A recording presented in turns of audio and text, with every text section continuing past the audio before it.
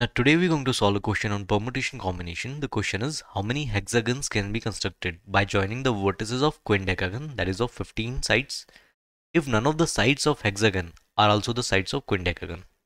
So first I'm going to draw the quindecagon on the circle. So let's say this is V1, V2, the vertices, V3, V4, V5, V6, V7, V8, v9 v10 this is going till let's say v15 here. Now if I join the vertices I'll get a quindecagon like this.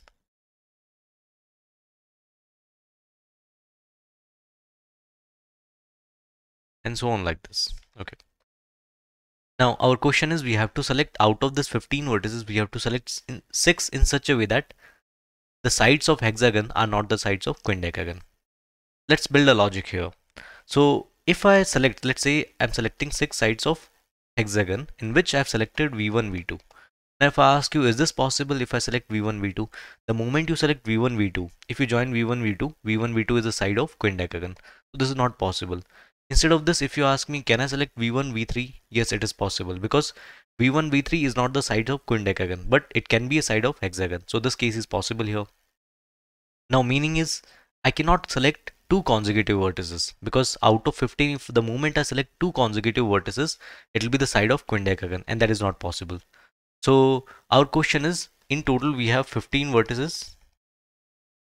Out of that we have to select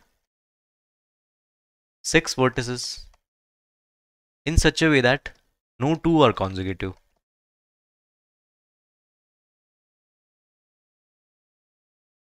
And they can ask you this question like 15 people are sitting on a round table. You have to select 6 in such a way that no two are consecutive. This can be asked in many ways. So this is we're going to treat the question like this. Now instead of calculating the 6 vertices out of 15 vertices on a circle such a way that no two are consecutive I'm going to calculate them on a straight line. Now let's say in order to make them on a straight line I'm going to break the circle from this point. The moment I break from V1 and V15 they'll come on a straight line like this. V1 v2 until so on v15 all of them will come on a straight line. Now I'll prefer to work on a straight line. Now here it will be easy to select 6 vertices in such a way that no two are consecutive so in total out of 15 vertices I'm going to select first 6 now remaining vertices are 9 9 vertices will generate how many gaps? 10 gaps. So I'll show you why I'm using the gap method here I'll show you what is gap method actually so nine vertices are there. Let's say nine vertices are like this. Right now I'm not I'm not naming them because I haven't selected them. So let's say they are X. 4, 5, 6, 7, 8 and 9. Now I'll show you why they are generating 10 gaps because 9 will generate 10 gaps here like let's say 1, 2, 3, 4, 5, 6, 7, 8, 9 and 10. They are generating 10 gaps. Now if I select the gaps, I'll make sure that nothing is repeated. Means no no two vertices are consecutive here. Repeated I haven't seen in the sense. Now let's say out of 10 gaps I'm selecting 6. But on a circle and on a straight line the cases will be different. And I think you have this question that I'm working on a straight line how it is same as circle. So it's not same. So I need to subtract some cases where I've selected particular case in which I'll get consecutive vertices. That means, let's say I've selected this case and I've selected this case. That means I've selected V1 and V15. On a straight line, they are far apart. But if I select these two particular, then that means I'll get V1 and V15. But on a circle, they are consecutive. So I cannot select this. It's not possible. So I have to delete from this total cases, I have to delete this many cases where I've selected V1, V15 and rest of the three vertices. Rest of the four vertices, sorry. Because these two I've selected and rest four I can select from any other. So this will hexagons are not accepted here. So let's say I've selected this, this, these two, and let's say randomly I'm selecting, I've selected this one, this one, this one, and this one. So the moment I select the gaps, automatically the vertices will be named. I'll show you why. So first one I've selected, let's say this is V1, this is V2. Now I've not selected the gap that that means clearly V3 will come here. There will be no V3 on the gap because I'm selecting the gaps and immediately the moment I select the gap rest of the gap will be gone.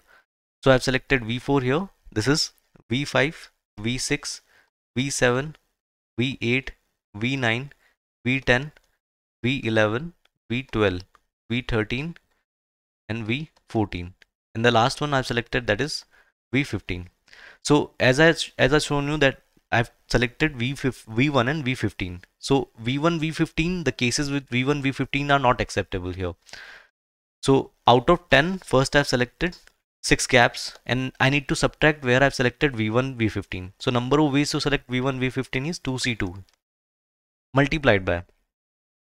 Multiplied by I have to select out of these two uh, remaining four are there I have to select remaining four from here so 10 gaps were there. I have selected two gaps. That is remaining is 8 gaps. So out of 8 gaps I have to select 4 so this will be the cases I've deleted where V1 and V15 are there. And this is the total number of hexagons in which in such a way that they are selected that no two vertices are consecutive or hexagon sides is not same as quindecagon.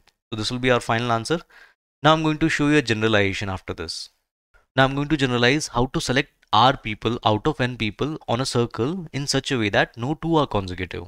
And I'm going to generalize using the previous question also. So let's say out of N people, I'm going to select R people and remaining will generate how many gaps? N minus R plus 1. As, as, as I told you in the previous question that this many gaps will be generated. Out of these gaps, if you select R, now I'm doing the working for right now on a straight line now this is the working for the straight line. Now there will be a problem if I select first and last. So I have to subtract the cases where I've selected first one and last one like V1 and V15 I've selected in the previous case. So that is 2C2. I'm going to select the endpoints and after selecting the endpoints I have to select the remaining R minus 2 people because 2 I've selected already R minus 2 is remaining. So if you focus on one thing this is the 10 index here and this index is less than this 2 2 times less than this so I'm going to uh, reduce here this by 2. So we'll get this as n minus r minus 1. See, I have to select r minus 2 people now because I've selected already 2. So this will be a general formula of selecting r people out of n in such a way that no two are consecutive on a circle. And that'll be all.